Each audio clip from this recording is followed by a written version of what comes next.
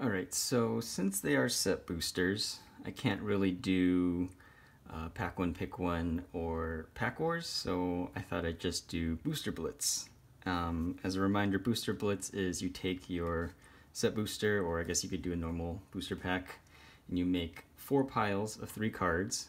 Um, those will be your decks, I guess, where you'll have infinite mana. You can't lose by drawing no cards from the library, and you have five life. So you just play two to three mini games and kind of hope for the best. Uh, so can't use the art card. Land is actually a little relevant just because this is a landfall set. So let's try to make uh, four piles of three here. Um, having an extra card from the list is nice because it gives me one more option. Uh, Deadly Alliance, solid card. Um, Ghastly Gloom Hunter, um, of note, I can just kick it. So if this is actually a 3-3 with flying and lifelink, which would be great, that is probably a bomb in this format. Drana Silencer, uh, probably want to pair it up with some party stuff if possible. Just a 4-3 Skydancer. Uh, I guess regard disregarding the mill, it's just a flash flyer. Bloodchief's Thirst, another piece of removal, and I can just kick it. Uh, Vastwood Fortification is meh. Diviner, it does fly. I mean, I might just win a game with flying. Cinderclasm, uh, could be useful. Scute Swarm is just a 1-1, unfortunately, unless I put the land in the pile. The Duelist, um, yeah, it could be useful. It does have flash. And Weatherlight, uh, fortunately it's just a vehicle, uh, but it does fly. And that's 80% of the life total. So let's try to think. Uh, so I guess my strategy would be try to make three really good piles, because uh, the average case scenario would be they pick a bad pile, and I still three good piles, and hopefully force a game three, or they just pick one of the two, uh, one of the three good piles, and again on the second game, and win from there. Uh, so removal, I probably want to split up my removal. Uh, put the land to the side.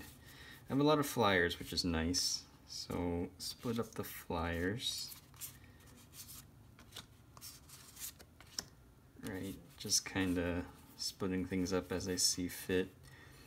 Um, I guess silencer could be removal, like going second, I could do uh, rogue, warrior, do I have something else?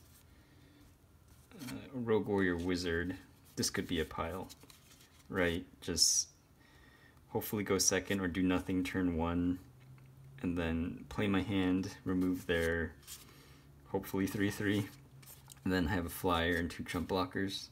So that'd be an okay pile. So I can move this to the side. Uh, I mean, there's a chance I might have four pretty good piles. Um, now it gets a little tough. Uh, so I guess I want my flyers with my removal. They're both pretty much destroy target creature, so a 3-3 and a 2-2. Uh, I guess I'll put the 3-3 with the sorcery speed. Um, Vastwood Fortification. I mean, the next best cards are, yeah, Vastwood Fortification and the Duelist. Hmm. Yeah.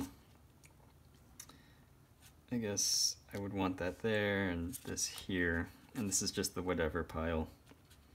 Uh, yeah, this is just I lose. Or they have a bunch of 1-1s and I Cinderclasm and win with just Scute Swarm.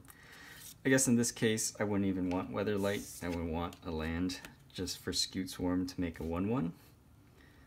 Uh, yeah, so this would be my four piles. Um, this was this would actually be pretty fun because I think I could see myself winning with any of these three piles. And this is like a very fringe maybe, so this would be pretty good. Um, yeah, let me know what you guys think if you were to do a booster blitz with this pack.